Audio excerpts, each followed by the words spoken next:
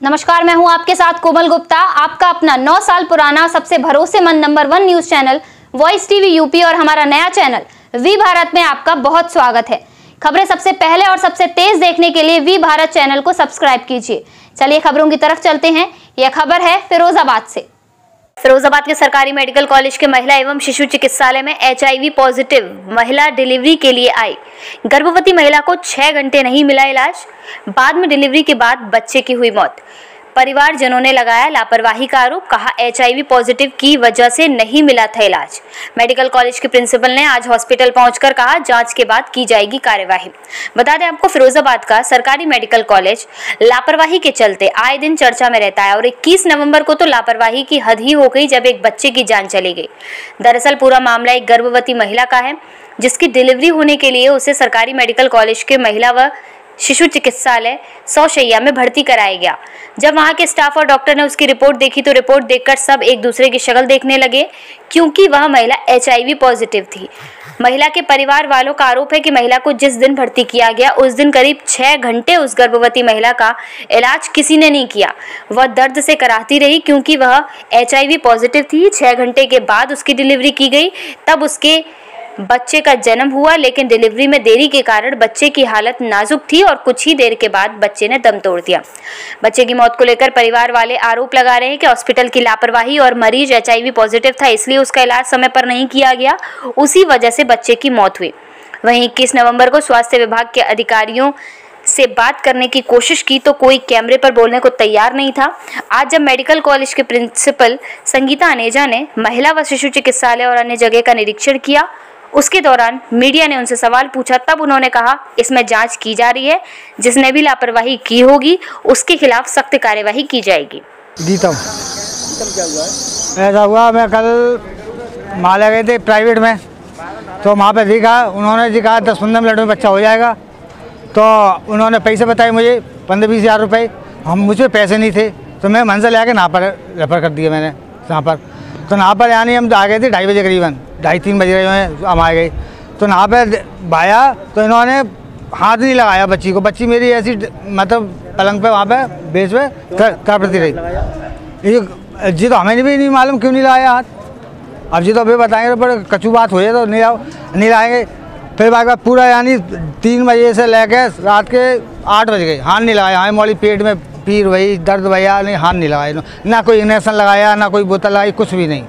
और इनके जे लोग चली गई तब दूसरा डिपार्टमेंट आए मैंने इनको सरदार जी को फ़ोन किया मैडम को तब जी मैडम आई तब इन्होंने मेरी बात सुनी तब इन्होंने जो करा तो इन्होंने करा है और रात के साढ़े नौ बजे और फिर मुझे ये नहीं मालूम बच्चा ज़िंदा है क्या नहीं उठा के ले जाकर मशीन में रख दिया।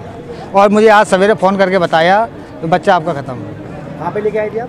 नहीं कौन सी जगह? जो भीतर। कौन सी जगह है ये? हॉस्पिटल है? सरकारी सरकारी हॉस्पिटल है। सोचैया सौ सही है महिला सही है महिला तो सही है। यादव है? क्या क्या मामला हुआ है? सर एक H I V positive patient था। मैंने उसको करीबन तीन बजे भर्ती कराया था डिस्ट्रिक्ट हॉस्पिटल में। उसके बाद स्टेचर पर मरीज़ को लिटाने के बाद किसी भी स्टाफ ने ना उसका पीवी किया, ना उसको टच किया, जबकि उसका बच्चा फंसा हुआ था। उसके बाद तीन बजे से करीबन नौ बजे तक बच्चा फंसा रहा और महिला तड़पती रही, किसी ने उसको टच नहीं किया। बोले, इसको बीमारी है, सबको लगेगी। और उसके बाद बच्चा फंसे फंसे दैत कर गया। दैत बच्चा दूसरी शिफ्ट वाले स्टाफ ने निकाला। उसके बाद उसको एसेंशियो में रखवा दिया कि बच्चा जीवित है, लेकिन बच्चा मृत्यु था उसी टाइम से। आपका कौन है बच्चा? मेरा मैं एच आई पॉजिटिव के लिए काम करती हूँ फ़ील्ड ऑफिसर अहाना से। एच आई की पॉजिटिव पेशेंट था उसको भर्ती करने में किस तरह की परेशानी हुई हंगामा भी हुआ और उसके एक बच्चे की मौत भी हुई। एच आई वाला पेशेंट हमारे हॉस्पिटल में तीन बजे साढ़े तीन बजे के करीब आया था। तब तक किसी के संज्ञान में नहीं था किसी ने बताया नहीं था कि ये पेशेंट एचआईवी का है उसके साथ वालों ने भी नहीं बताया था। फिर भी आते ही उस पेशेंट की जो अभी मैंने स्वयं आकर, जैसे मेरे संज्ञान में आया, मैं स्वयं आई थी गायनी डिपार्टमेंट और मैंने सबसे खुद भी बात की है, एक इंक्वायरी कमेटी भी सेटअप कर दिया है। उसमें जो भी न्यूज़पेपर में निकला है तो उस पर एक इंक्वायरी कमेटी बना दिया है सीएमएस का और एक एनेस्थीसिया के एचओडी का। लेकिन मैं स्वयं भी आई थी, मैंने सब लोगों से बात किया तो उन्होंने बताया कि पेशेंट आया था। किसी को मालूम नहीं था कि वो एच पेशेंट है। उसके बाद भी जैसे पेशेंट आता है, उसका तुरंत ब्लड टेस्ट सैंपल लिया जाता है, उसका पीवी किया जाता है तो वो ऑलरेडी किसी को मालूम नहीं था बट रूटीन पेशेंट की तरह उसकी सब जांचें करी उसके बाद चार बजे इन लोग को मालूम पड़ा, जो अभी पूरी इंक्वायरी चल रही है। तो उस समय भी चार डॉक्टर्स हमारे यहाँ एक्चुअली डीएनबी स्टार्ट हो गया है। तो चार डॉक्टर्स डीएनबी की उस वक्त भी थी। स्टाफ नर्स थी, उन लोगों ने चेकअप किया है। और उसकी डिलीवरी करीबन रात में हुई थी प्राइमी थी, जो बताते हैं। और अभी मैंने सब पता किया है। पूरी इंक्वायरी रिपोर्ट तो अभी आ जाएगी एक घंटे में। लेकिन सब डॉक्टर्स फ्लोर पर थे। उस वक्त शाम के वक्त एक सिजेरियन भी हुआ है। सीनियर रेसिडेंट भी थी। रात में उसके करीबन नौ बजे डिलीवरी हुआ है और नॉर्मल डिलीवरी था। और उसके बाद बच्चे को किस बात को लेकर मेरे संज्ञान में आए लेकिन डॉक्टर्स तो सब थे मैंने सबका सीसीटीवी भी चेक करवाया है और फ़ोटोज़ भी लिए उसमें जैसे इंक्वायरी रिपोर्ट आ जाएगी अगर जिसकी लापरवाही होगी उसको कठोर से कठोर उसके लिए दंड के लिए संस्तुति कर दी जाएगी और एक्शन लिया भी जाएगा। इसमें कोई मरीज़ की इलाज में और मरीज़ को अटेंड करने में कोई भी लापरवाही बरती नहीं जाएगी।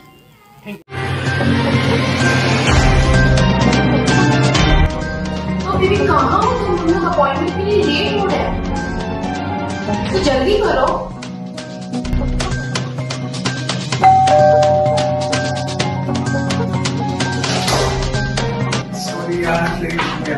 क्योंकि पाँच बजे की अपॉइंटमेंट थी और हम लोग फिर से लेट हो गए। अब हमें कहीं जाने की ज़रूरत नहीं है। जा।